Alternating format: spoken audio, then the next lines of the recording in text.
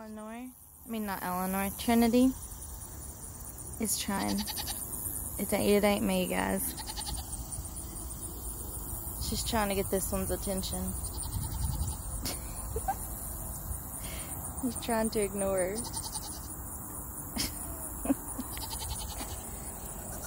what? Toga's playing hard to get. Trinity's over there flirting with him.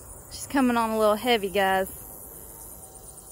Trinity, you gotta play hard to get.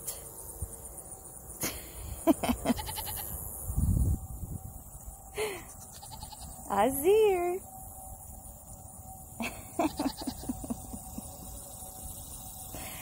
Lorenzo's like, my job is to keep him company, so I'm just gonna eat, alright?